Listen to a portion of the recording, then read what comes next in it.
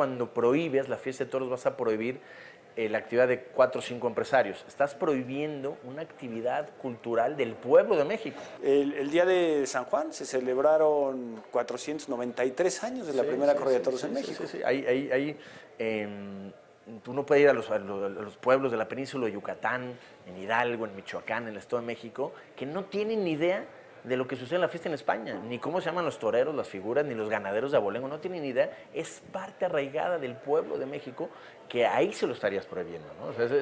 Que se dé a conocer luego la Plaza México y la Feria de Sevilla y tal, y las barreras con la gente. Eso es una, eso es una fiesta de toros. Pero la, esencial es la otra, y cuando se les se demuestra a los políticos, todo el mundo dice, ay, cuidado.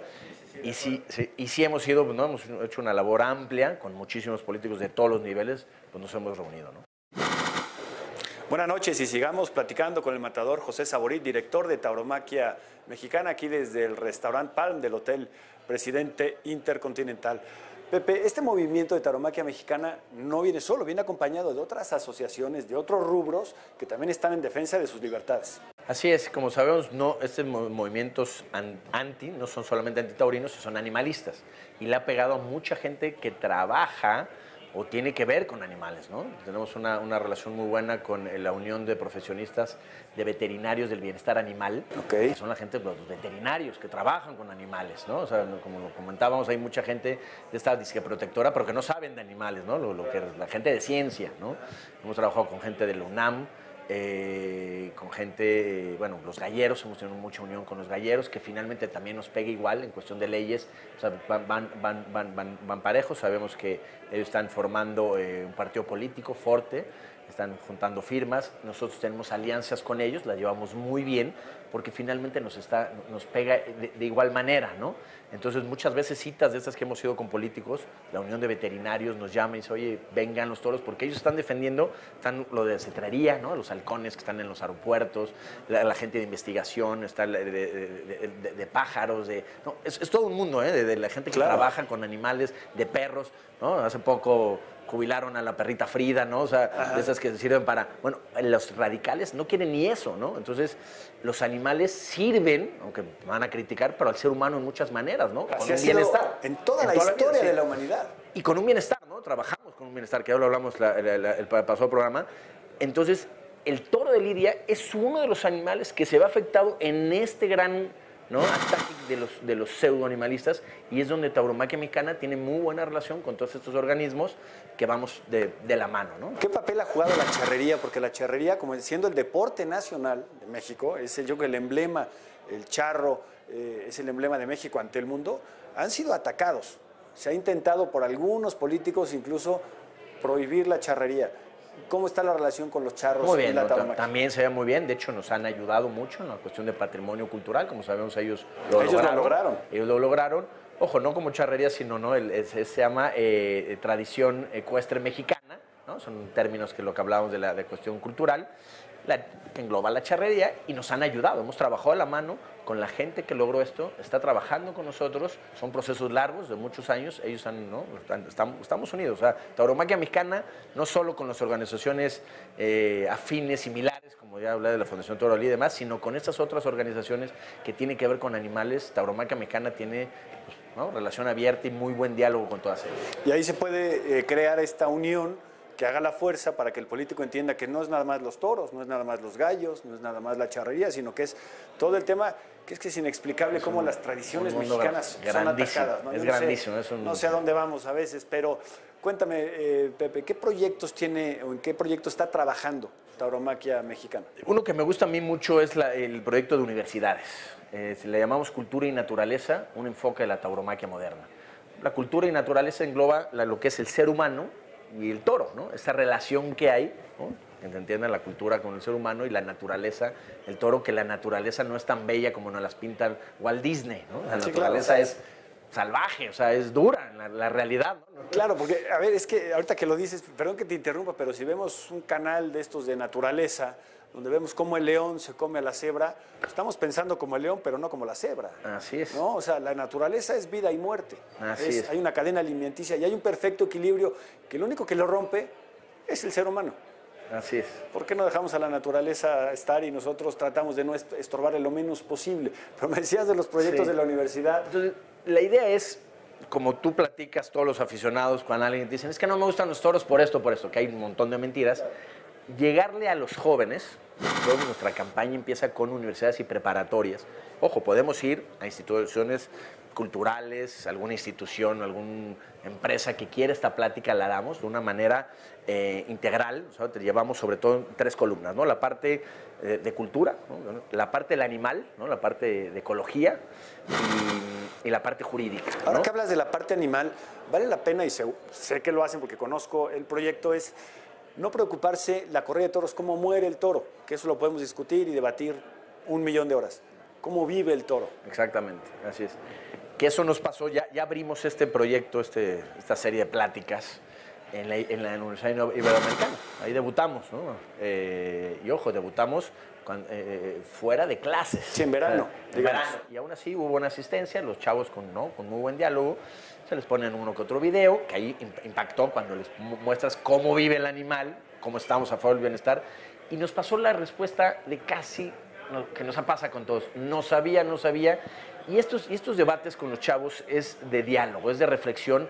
Ojo, sí debemos de promocionar corridas de toros, pero lo que queremos aquí en esas pláticas no vamos a promocionar corridas de toros, es abrir un diálogo, una reflexión de cultura y naturaleza, de lo que queremos como seres humanos hoy en día, con este rollo animalista, eh, cómo lo vamos a enfrentar, ¿no?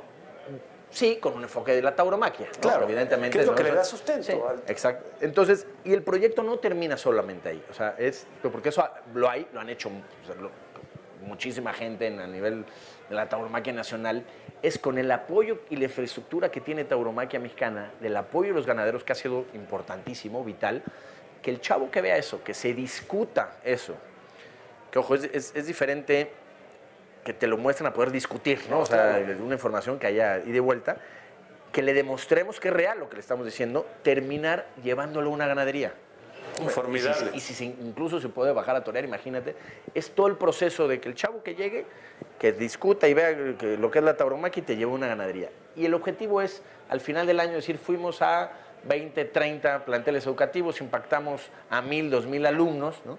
Este, y es una gran vacuna que tenemos para los chavos, ¿no? porque sabemos que hay tanta información negativa y lo que nos pasa a todos, ya cuando se lo platica la gente, ah, es, es cierto, nos encantaría hacer ese proyecto para los 130 millones de mexicanos. Claro. Es imposible llegar al uno a uno.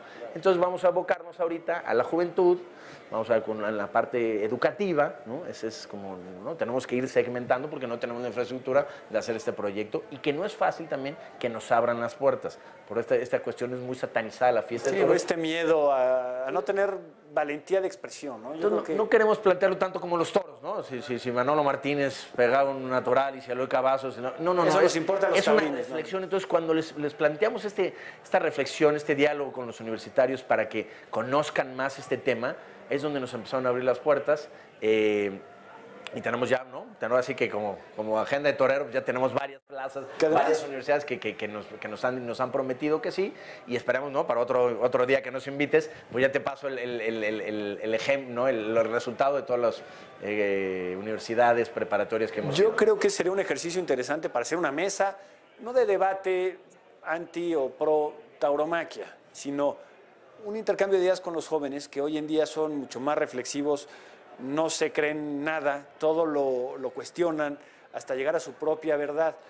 Y yo creo que este programa sería interesante que, se acercara a los jóvenes para poder hacer algo así en un, en un, medio organizado, como lo tienen bien ustedes estructurado, y escuchar ambas partes, ¿no?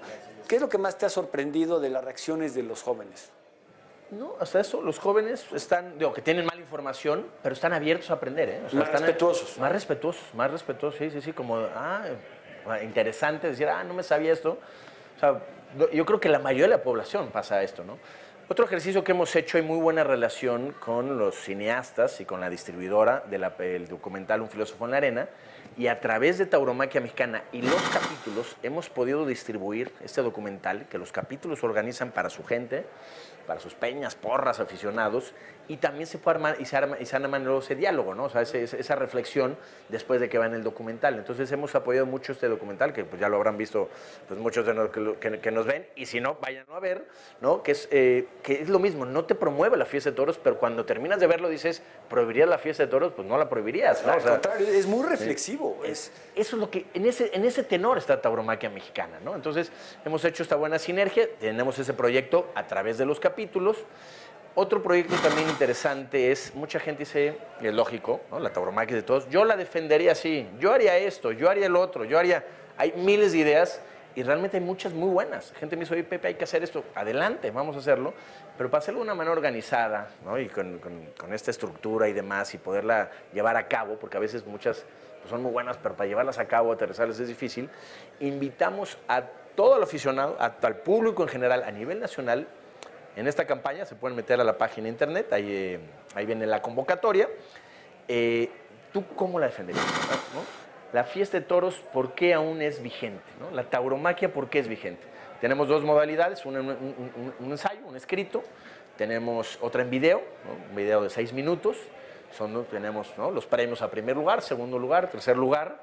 Eh, la idea es en tres meses tenemos el recibir la información en tres meses entregar, entregar los premios y eso nos va a ayudar a, primero a incorporar a todo el mundo ¿no? al proyecto para que, que, hagan una reflexión realmente cómo, cómo hacer vigente la tauromaquia todavía en siglo XXI y que nosotros escuchemos ¿no? a todo el aficionado, a todos los profesionales. Va a haber un jurado de primer nivel, ¿no? primerísimo nivel, que van, que van a ser los, los, los que van a designar el primer lugar obviamente con una transparencia como se ha manejado tauromaquia mexicana. Entonces yo creo que es muy, me encanta también este proyecto pues, de, involucrar a todos los aficionados en esta misma idea de cómo difundir y defender la fiesta de toros. Pues es una gran iniciativa. Métase usted, amigo, a la página de Tauromaquia Mexicana, vea las bases y participe. Necesitamos ser una ciudadanía activa en todos aspectos. Vamos a ver qué es lo que nos ha preparado Tauro Agencia esta noche.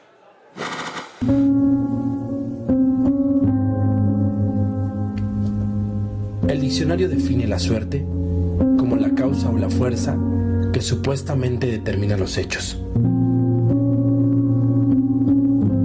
Para algunos filósofos es la espontaneidad de que las cosas se originen.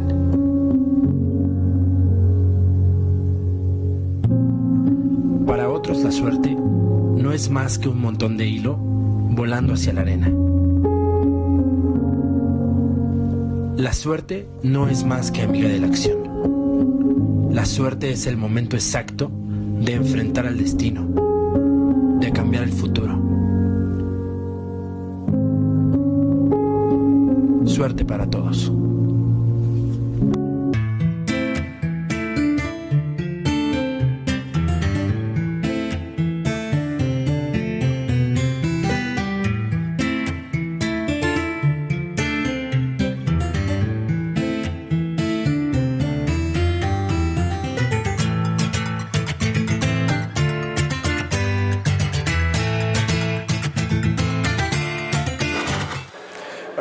Por hacer, por difundir y defender la, tauromaquia en México. De todos estos proyectos, Pepe, me comentabas, eh, hay uno que nace del estudio que se hizo eh, sobre los niños y la relación con la tauromaquia, que está comprobado que lejos de afectarlos o traumarlos o convertirlos en seres violentos, son de estas mil mentiras que dicen los antitaurinos y que ellos creen que es verdad, de este estudio, cuéntanos qué proyecto surgió.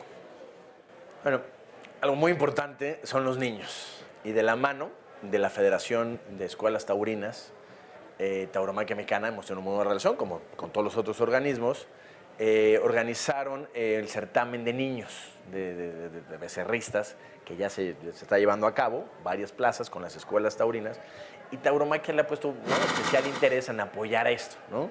en, en darle facilidades y demás a, los niños porque creemos que ahí está el futuro de la fiesta de toros. Bueno, no creemos, es evidente, porque un niño, lo sabemos, si quieres ser torero, primero tienes que aprender la técnica, tienes que tener esta disciplina, esta, en fin, lo que sabemos que es... El, asumir todos los valores que tiene la toro. Si no logras ser torero, olvídate de ser figura del torero, te vas a volver automáticamente un gran aficionado que es lo que pasa con la gente que ha querido ser torero, es te vuelves un gran aficionado. Entonces no hay mejor también vacuna, que alguien que quiera ser torero. entonces hay que fomentar, y es un llamado, y eso no, no a nivel de tauromaquia, sino como aficionado, que los ganaderos, ¿no? que, inviertan en los, chavos, que les dejen.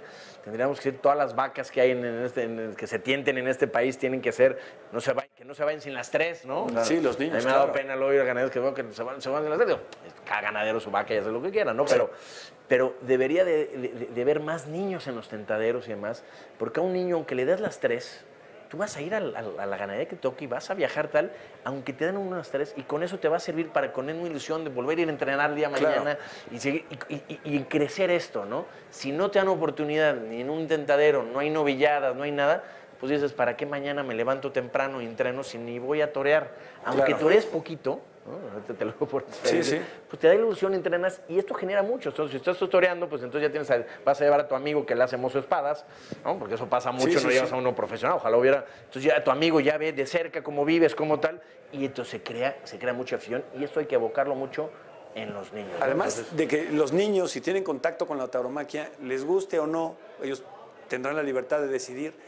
Haremos buenos mexicanos. ¿Por qué? Porque serán mexicanos respetuosos, mexicanos que no quieren imponer un criterio, llámese por moda o por bandera política.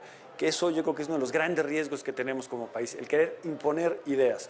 Yo creo que cabemos todos en este país, todas las ideas son bienvenidas, siempre y cuando nos respetemos. Entonces, de este proyecto de respeto de los niños, de acercarlos a los valores de la tauromaquia, cuál es el proyecto en el cual está trabajando, eh, además de, de- de que estén toreando y tratar de sacar toreros, pero también tratar de sacar buenos ciudadanos. Sí, aquí nosotros apoyamos, ¿no? En el, no, no, no, no lo organizamos, ¿no? Aquí No, la claro, las Escuelas escuelas, Taurinas y demás. Ojalá tuviéramos esta infraestructura, pero sí queremos crecer la infraestructura de tauromaquia mexicana, porque lamentablemente así, así se requiere, ¿no? Yo creo que las circunstancias dan para tener un gran organismo aquí en México. Y hemos hecho un esfuerzo en la cuestión económica, ¿no? Lo dije en el primer programa, se necesita profesionalizar. Una cosa es un apoyo de un amigo, un día lo hace y demás, pero para llevar a cabo todos esos proyectos necesitamos recaudar recursos. Eh, otro de los proyectos interesantes que tenemos es que va avanzado, es un poco complejo, es la tarjeta de lealtad, ¿no?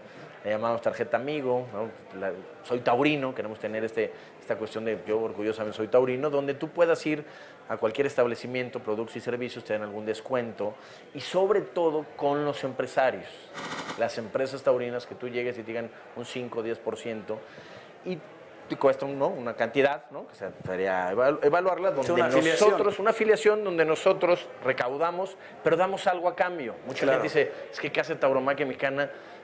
Vender la defensa es muy difícil. O sea, Ah, ¿cómo si, si supiera lo que se ha hecho.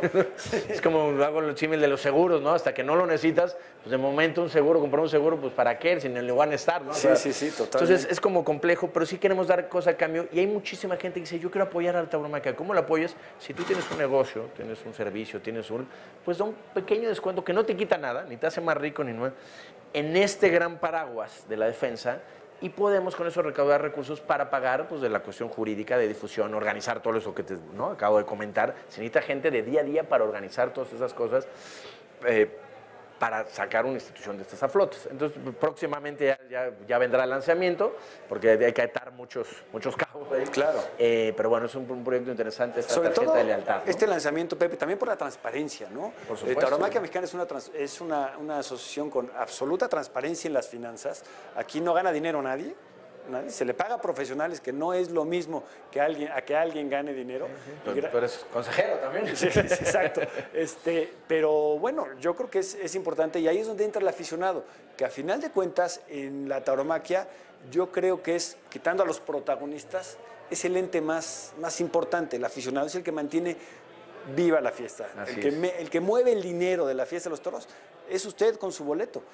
Por eso constantemente estoy invitando a la gente a que hay que llenar las plazas de toros. Hay que, hay que afiliarse con valor a esta tarjeta Soy Taurino, ¿no? Cuando Que en sí, su momento se, así se es, así es, que se van a enterar, ¿no? En la página de internet, las redes sociales, ¿no? Eh, que tenemos una, una campaña amplia de redes sociales. En fin, yo creo que ese sentido lo tenemos cubierto, ¿no? Es que nos sigan, que lo vean y cualquier duda, pues estamos abiertos para, para aclarárselas, ¿no? Y redes sociales, Tauromaquia Mexicana está en todas, ¿correcto? En todas, ¿no? Facebook, Twitter, YouTube, Instagram, Vimeo. Tenemos hasta WhatsApp, ¿no? Tenemos ya un, canal, sabemos que hoy en día la comunicación es WhatsApp, un canal de WhatsApp de Tauromaquia Mexicana. Pues yo creo que estamos en todas. Tenemos una campaña, aparte de la, cuenta de Tauromaquia Mexicana, tenemos muchas más para hablar de, de estos temas que hemos hablado, de cuestión de niños, de enseñanza, de ecología, de, de la percusión jurídica. Tenemos una campaña amplia. Tenemos una página de internet eh, que la renovamos constantemente. Ojo, no es para anunciar carteles de quién torea mañana Sí, y demás, de sino ahí puedes encontrar artículos en la cuestión de la defensa de los toros, ¿no? Argumentación, ¿no? Hemos subido varios ¿no? artículos de la cuestión de los, de los niños, el estudio de niños y demás. Puedes encontrarlos en esa página de Tauromaquia Mexicana. Que como aficionado te sirve para decir, a ver, el libro de Francis Wolf de 50 razones, ahí lo puedes descargar. Así es. El estudio de los niños. Ahí se puede descargar. El tema de si el toro sufre o no sufre. Ahí, e, esos temas son los que manejamos en esa página. Hemos hecho campañas una que me gustó mucho, orgullosamente taurino, ¿no? Lamentablemente nos, nos acorralan y demás, sino de, enseñar cómo hay de todos en este país y los países taurinos, desde gente, volviendo al tema de política, izquierda, derecha, futbolistas, cantantes, que son taurinos, que a veces nos faltan, muchos de ellos sí lo hacen, sí lo expresan, pero yo creo que nos han amedrentado y hay muchos que, que son taurinos, pues decirle, oye, pues ve a la plaza, o sea, no te, que, no te, que no te amedrenten eso. Entonces, pues nosotros es apoyarlos en decirles, oye, también tienes al taurino que te lo va a agradecer, que siga siendo orgullosamente taurino. Otra campaña interesante, ¿sabías qué? Que eso se utiliza en muchos, en muchos medios, ¿no? ¿Sabías qué? Pero creo que es importante. hay una página muy buena que tenemos que, es, eh, que se enseña la fiesta, Toros para Domis, donde explicamos que el natural se va con la izquierda. Un taurino, te dirán, pero la mayoría de la gente es la que mayor crecimiento ha tenido porque el joven y la gente no sabe de todo. es la que rellena las plazas de todos, esas grandes no Entonces, la que habla del encaste y de que si el torero la mano baja y si... Esa es así, es un mercado que es el mercado. y nunca se le da gusto. entonces tenemos esa campaña, el ¿sabías qué? Bajarnos de este nivel este, para, para los jóvenes la cuestión también política, ¿no? Saber que pues, los taurinos también votamos. En fin, yo creo que tenemos eh, pues, una campaña importante. También eh, comentar que eh, tenemos presencia en medios de comunicación. No siempre el mejor, el mejor torero, el mejor periodista, el mejor ganadero defiende la fiesta de toros, sino tenemos especialistas para ir a estos debates, que cuando nos piden, nos llaman, ya identifican ese organismo que, tienen, que tenemos los datos a la mano, ¿no? Del niños, lo de la ONU, de estas mentiras, entonces pueden ir esos especialistas para debatir, ¿no? Entonces también hemos hecho presencia en esto. En fin, yo creo que hemos hecho una campaña integral de comunicación, pero falta mucho, invertir dinero, es básico, tú lo sabes, ¿no? En comunicación. Pero bueno, en eso estamos y pues pido el apoyo de todos los profesionales y aficionados. Pues Matador Pepe Saborit, muchas gracias por el trabajo. Perfecto. La mexicana. A la orden. amigos, eh, para rematar estas dos entrevistas interesantes de la defensa y promoción de la fiesta, veamos qué nos ha preparado Rodrigo Vargas esta noche. Yo lo espero aquí el próximo viernes a las ocho y media de la noche. Los inicios de la fiesta brava en México datan de 1529. Desde entonces se han celebrado corridas de toros en varios estados de la República Mexicana. En la actualidad, la fiesta ha recibido muchos ataques sociales y políticos a nivel mundial y México no es la excepción. Sin embargo, desde el 2011, México cuenta en varios de nuestros estados con un ejemplo de respeto a la cultura, a las tradiciones y a la libertad. Hoy en día, 10 estados de la República Mexicana han blindado a la fiesta de los toros como patrimonio cultural inmaterial protegiéndola así de cualquier ataque y prohibición. Algunos de los estados que han declarado la fiesta brava como patrimonio cultural en nuestro país son Aguascalientes, Hidalgo, Guanajuato, Michoacán, Tlaxcala, Zacatecas, Querétaro, Baja California y recientemente Nayarit. Todos estos estados cuentan con una gran tradición taurina. Son tierra de varias figuras del toreo, tierra de ganaderías y emblemáticas plazas de toros. Queda mucho trabajo por hacer, sin embargo, estas acciones representan pasos fundamentales en la valoración y defensa de nuestra identidad, así como un apoyo fuerte para impulsar en estos estados la fiesta de los toros como un espectáculo lleno de historia, cultura, tradición, arte y pasión.